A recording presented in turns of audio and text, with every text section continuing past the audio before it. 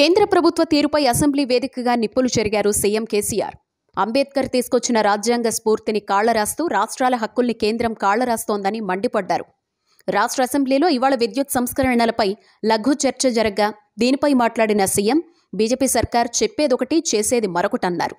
అధికారం అనేది బాధ్యత రాచరికం కాదని చురకలంటించారు.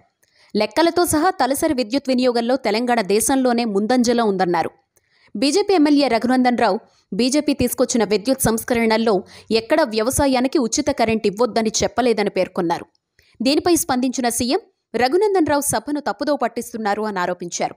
మొదటి కేబినెట్లో కేంద్రం తెలంగాణ గొంతు నులిమేసే విధంగా అందులో మరీ ముఖ్యంగా నాలుగు వందల అరవై మెగావాట్ల హైడ్రో ఎలక్ట్రికల్ ప్రాజెక్టు సీలేర్ను ఆంధ్రాకు కేటాయించిందని విమర్శించారు. రాష్ట్ర ప్రభుత్వాన్ని కూల్చడమే పనిగా బీజేపీ పెట్టుకుందని దుయ్యబట్టారు. ఇక్కడున్న ముగ్గురు ఎమ్మెల్యేలతో టీఆర్ఎస్ ప్రభుత్వాన్ని కూలగొడతామని వ్యాఖ్యానించడం దేనికి నిదర్శనమన్నారు. రాజ్యాంగంలో కేంద్రం పరిధిలో రాష్ట్రాల పరిధిలో ఉండాలి ఇద్దరు కలిసి సంప్రదించుకుని చేసుకునేందుకు కొన్ని ఉమ్మడి జాబితాలో పెట్టారు. ఈ పవర్ ఉమ్మడి జాబితాలో ఉంది. దీనిపై కేంద్రం పెత్తనం లేదన్నారు.